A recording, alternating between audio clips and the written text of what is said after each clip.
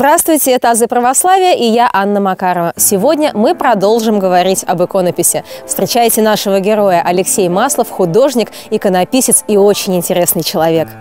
Здравствуй, Алексей. Здравствуй, Аня. Добрый день, дорогие друзья. Давай сразу объясним нашим зрителям, почему мы оказались в селе Мышкино Можайского района. Это место мне очень дорого, так как с 2003 по 2006 год я здесь жил и писал свой второй в жизни иконостас. А, иконостас был написан в северном пределе, освященном во имя преподобного Сергия Радонежского. Иконостас довольно-таки сравнительно большой, э, четырехъярусный. Я думаю, сейчас мы его сходим, посмотрим я э, расскажу, как происходил весь этот процесс. Ну вот, э, Ань, видишь, вот эти четыре окошечка на первом этаже, это как раз была моя мастерская. Здесь работал я и моя мама Наталья Петровна. Мы писали иконосас. Она южного предела, я северного предела. Алексей человек творческий, рисует, пишет иконы, стихи, музыку, занимается профессиональной фотографией. А еще он президент православного мотоклуба. Узнали? Это вместе с ним мы ездили в паломничество в Спасо-Бородинскую обитель.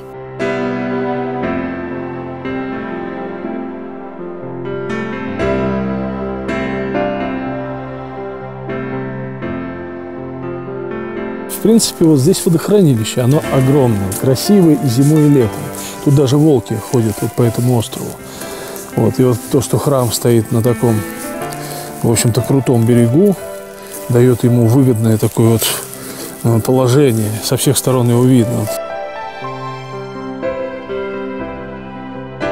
Вот колодцы, вот это вот все это я помню, как своими руками из лиственницы все это делал.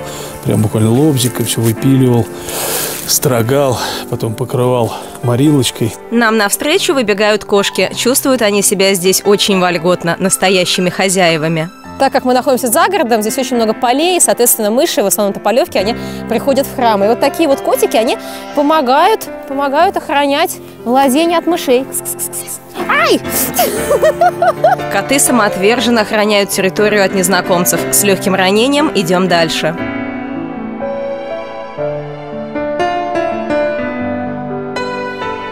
Представляешь, Ань, вот под этой елочкой, когда я копал под нее яму, собственноручно сажал, я нашел Екатерининский пятак 1765 кажется, года. Такие интересные находки здесь были. И много очень, кстати, костей собрали во время стройки. Здесь э, котлованов много. И все эти захоронения, они вот там под крестом, как раз по дорожке если вправо пройти. Здесь шли ожесточенные бои? Немцы, да. немцы дошли до этого места? Здесь была ставка Жукова, на том берегу стояли немцы. Это как раз 1941 год был самые ожесточенные бои за Москву. И э, под э, храмом многочисленные окопы до сих пор сохранились.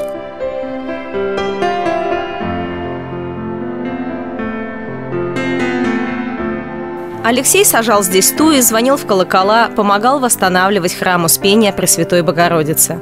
Данный храм был построен в 19 столетии. Конечно, его э, участь советского лихолетия не обошла стороной. Он был разрушен, в нем был склад селитры. Вот, поэтому стены все пропитаны этой селитрой, куча высолов, забиты все продыхи. Влажность сильно набирает. Вообще проблема была с его реставрацией. И, ну, все равно для меня это большая честь, что я здесь работал на реставрационных работах. И вот все вот это практически вот собственными руками э, делал. Э, так что, ну, а теперь, я думаю, нам стоит зайти в сам храм, посмотреть иконостасы. С удовольствием.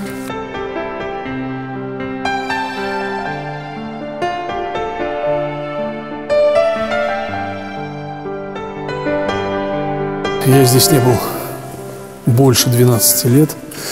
И вот северный предел Сергия Радонежского, вот этот иконостас серый, как раз такой в сером колорите, с сусальным серебром на тяблах. Это как раз я писал. А вот этот иконостас а, «Пределы Пороскева Пятицы», мученицы, это моя матушка писала. И вот эта перегородочка между летним и зимним храмом, это тоже мои самые первые иконы, написанные сюда в 2002-2003 году. Алексей, а почему у нас этот иконостас вот в серых тонах выполнен, а этот в красных? Это каноны какие-то? Красный – это мученический цвет, цвет Пасхи. А серый, серо-зеленый он такой, это как раз преподобнические цвета, он более спокойный, более такой сдержанный. У невоцерковленного человека возникнет справедливый вопрос. Зачем в храме несколько пределов? И что это такое? Попробуем разобраться. Предел – это часть церкви. В нем размещается дополнительный алтарь, чтобы в один день можно было совершать несколько богослужений. Дело в том, что по православным канонам проводить более одной литургии в день в одном алтаре нельзя. Каждый предел освещается в честь какого-либо святого или события. Он имеет свой собственный иконостас, отделяющий алтарь от основной части храма, как мир небесный от мира земного – Несколько пределов обычно бывает в больших церквях.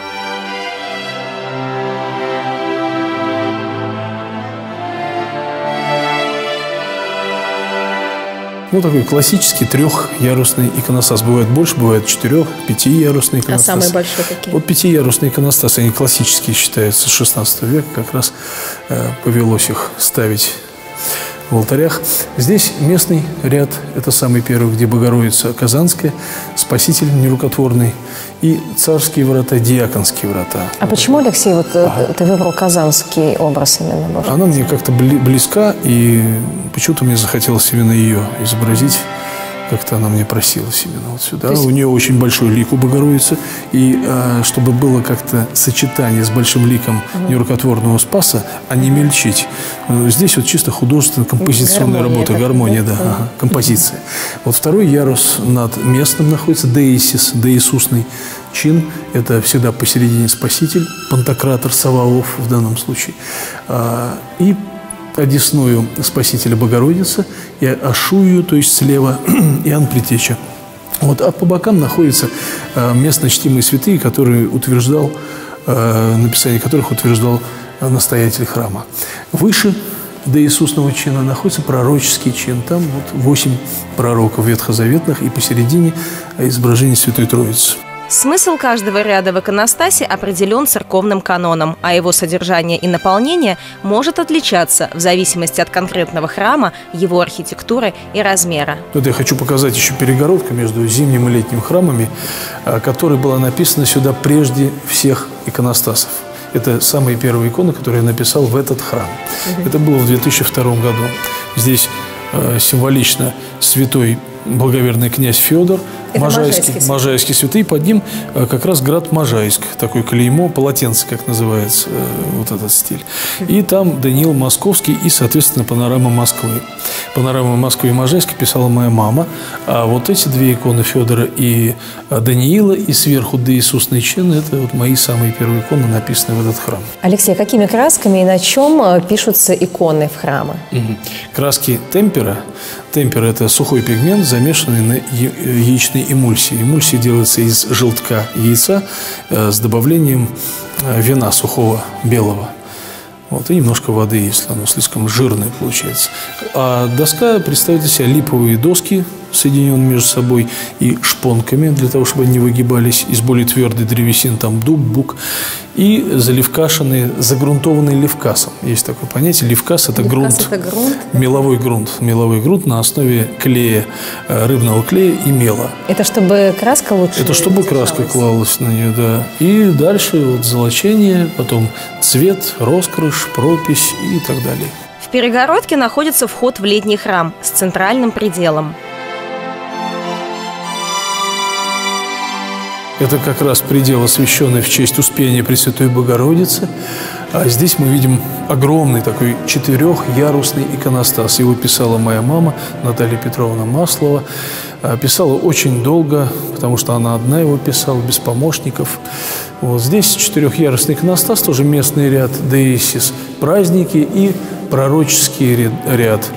А, иконостас очень широкий. Он сделан, кстати, по проекту архитектора Николая Борисовича Васнецова. И он как раз занимался реставрацией этого храма.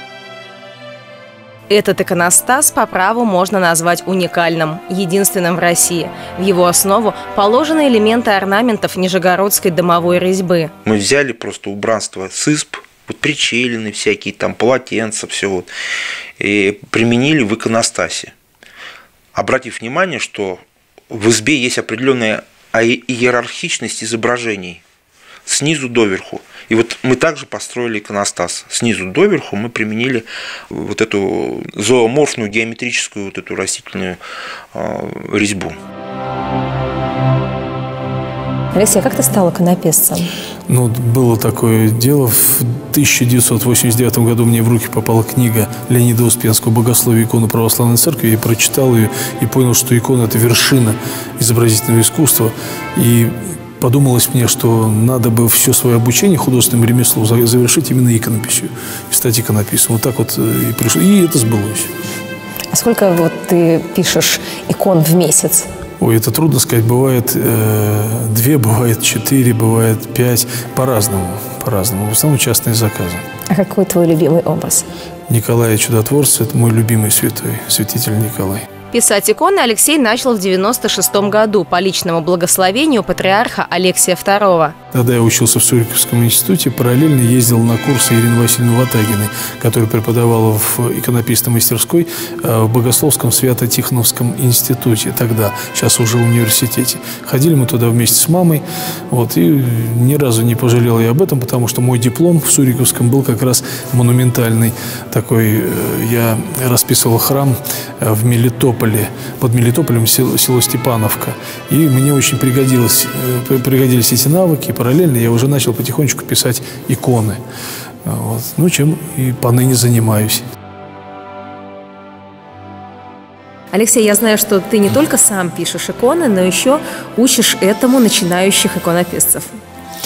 Да, действительно, у меня есть своя студия, где я преподаю рисунок, живопись и композицию, в том числе и иконописцам, которые не имели возможности закончить никаких художественных заведений, училищ или институтов и получают у меня базу, то есть школу академического рисунка живописи. Кстати, Аня, я тебя приглашаю в свою студию ты посмотришь сама на процесс обучения, увидишь работы, которые висят на стенах моей студии. Вот, в общем, приглашаю, приезжай. Леш, спасибо большое, мне очень интересно, и думаю, нашим телезрителям тоже. Поэтому отправляемся в студию к Алексею Маслову.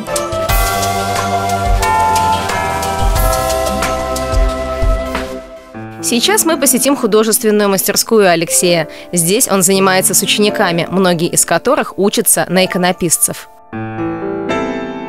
приходят сюда для того, чтобы получать дополнительное образование, а, связанное с рисунком, подтягивают рисунок. И академический рисунок как базис, как говорил Павел Петрович Чистяков, а, наш великий учитель и педагог 19 столетия, из-под руки которого вышли и Суриков, и Серов, и Репин, многие-многие наши известные художники, он говорил, что рисунок – это основа всего изобразительного искусства. И вот мы здесь занимаемся как раз рисунком в основном и отчасти живописью.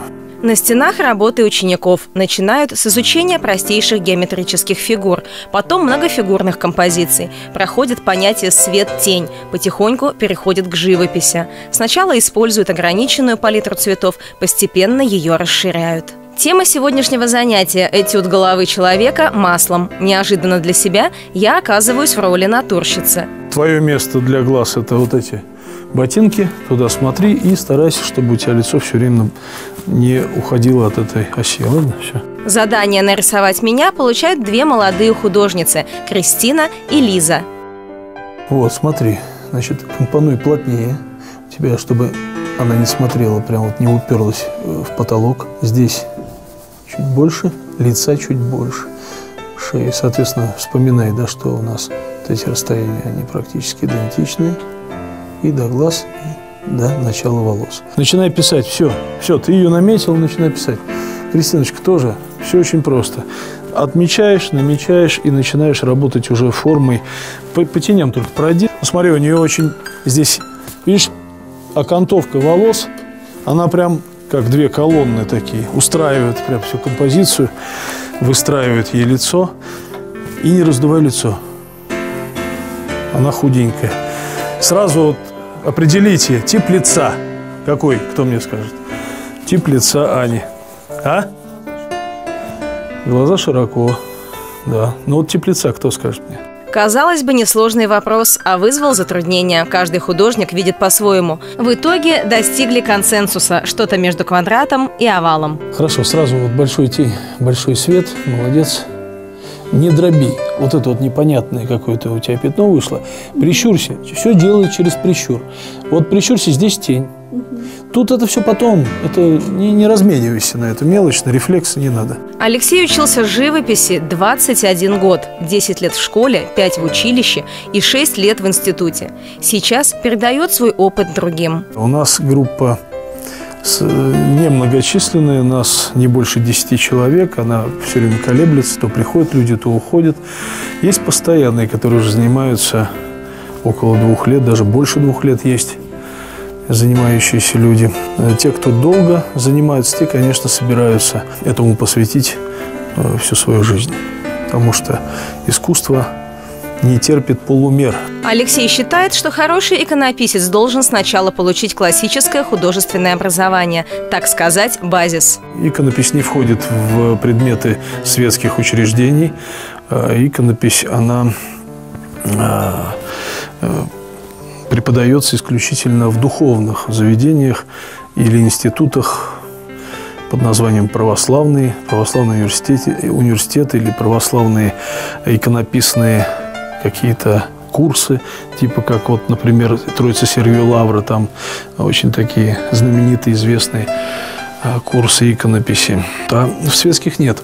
В светских э, дают основу э, цветоведения, рисунок, построение. Весь тот базис, который человек потом может использовать, работая и в сфере иконописи, в сфере, в сфере дизайна, и в сфере, там, например, декорации, где угодно. А любого человека можно научить рисовать? Ну, знаешь, я считаю, что любого человека можно научить рисовать в той или иной степени. У каждого есть свой предел, у каждого есть свои способности. До революции, например, в дворянских семьях было нормой обучать детей рисунку, сольфеджио, музицированию, а потом танцам. И они умели все понемножку. Причем умели, судя по всему, я смотрел, а, например, работы Елизаветы Федоровны, великой княгини, а, орнаменты ее, ее какие-то выкрасы там акварельные. Это на хорошем уровне было все сделано. Я бы так вот, если бы сравнивать, я бы, наверное, сравнил это с там, вторым или третьим курсом училища.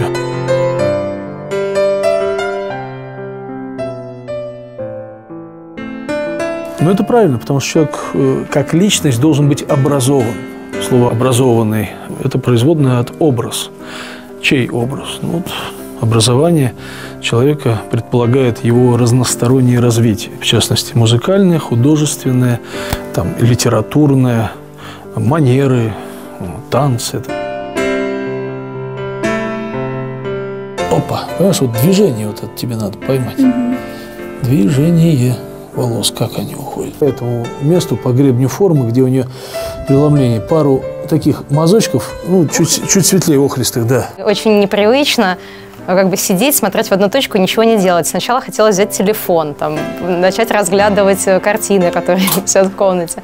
Но потом ты впадаешь в такое состояние, сидишь, э, размышляешь, и даже очень приятно побыть наедине с собой. Так что всем рекомендую в свободное время приходить работать на торщицу.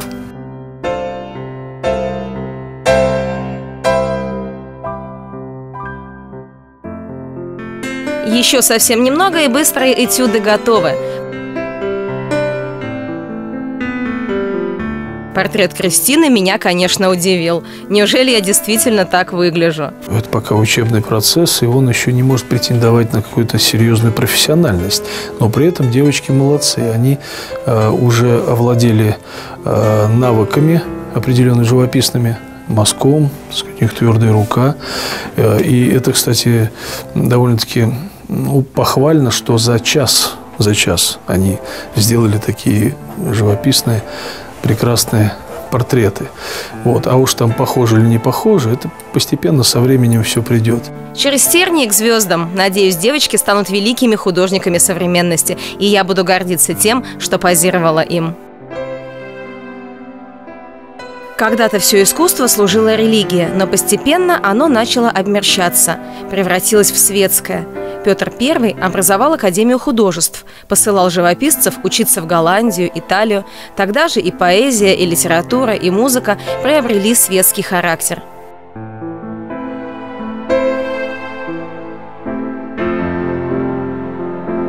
Сегодня мы наблюдаем подъем церковного искусства в целом – архитектуры, иконописи, монументальной живописи и прикладного искусства.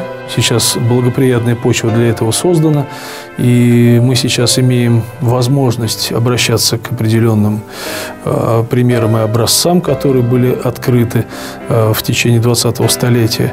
Э, после, даже в период, кстати, большевизма, в период э, вот этих вот лихолетий, мы открыли для себя Рублева, открыли для себя Дионисия, Феофана Грека, византийское искусство, которому в 19 столетии еще даже никто подступить не мог, не знали. Иконопись – сложное искусство. В нем все имеет особый смысл – цвета красок, жесты и положение святых. В иконе каноничен даже цвет – Потому что икона – это, в принципе, э, отчасти символ.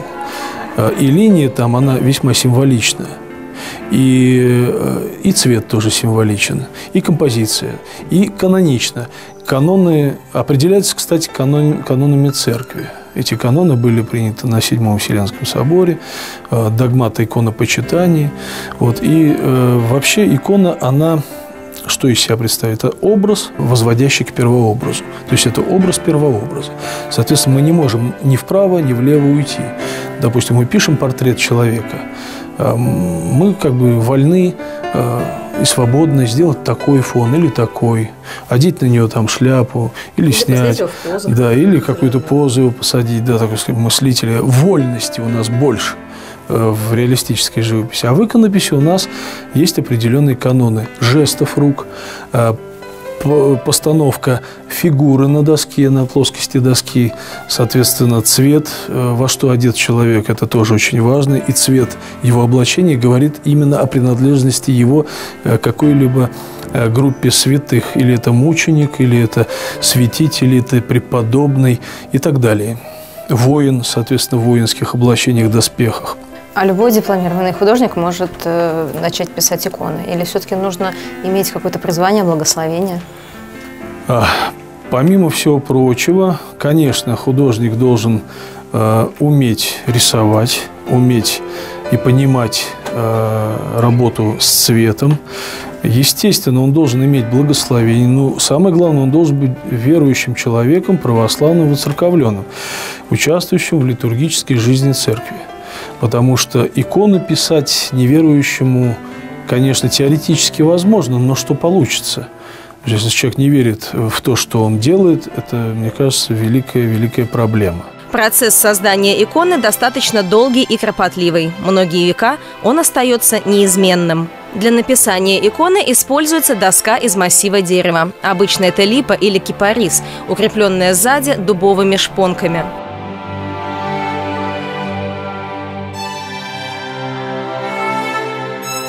На доску наклеивается тонкая ткань паволока и наносится основа – левкас. Левкас – это такая смесь мела и клея. Это необходимо для того, чтобы изображение сохранилось длительный срок без изменений. На левкас тонкой кисточкой или карандашом иконописец наносит рисунок –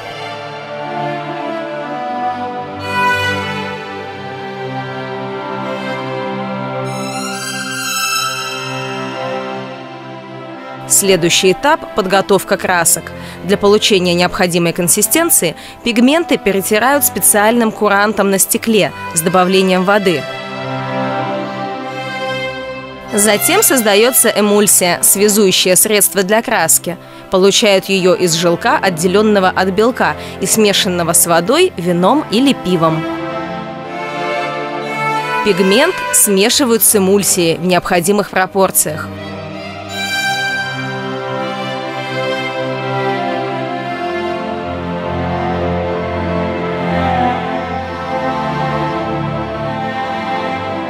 После нанесения рисунка на доску производится золочение нимбов или всего фона будущей иконы.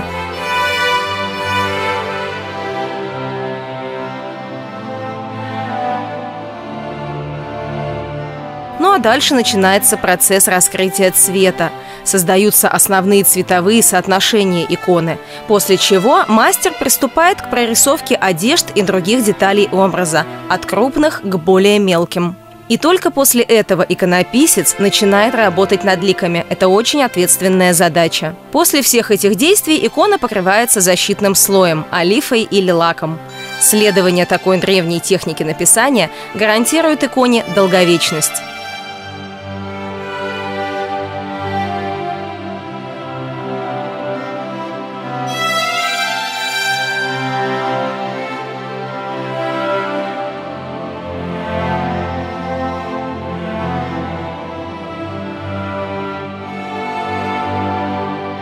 Это иконы, над которыми сейчас работает Алексей.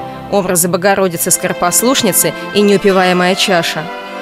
Здесь мы отрисовали, отрисовали э, саму Пресвятую Деву с младенцем и уже зазолотили нимбы. То есть стадия позолотки, дальше будет стадия роскроша, ну и потом уже будет разделка, разделка опять по рисунку, который здесь уже есть, нанесен, мы его уже будем вытягивать на роскоши. И потом уже разделка цветами цветами, вахрение, как их называют в иконописи. Вот. Пока это самые начальные стадии. Алексей признается, что ему печально видеть, как сегодня за иконописание берутся все, кому не лень, без понимания процесса, без должной художественной подготовки. И как результат – масса икон, не соответствующих установленным канонам частично или полностью – по мнению художника, в этом деле спешить нельзя. Основное – это грамотный педагог, системное образование и, конечно же, вера. Вот и подошла к концу наша очередная программа. Мы побывали в гостях у художника Алексея Маслова, увидели его иконы, узнали, как занимаются будущие иконописцы. Ну а я с вами прощаюсь. Это были «Азы православия». До новых встреч на канале ОТВ.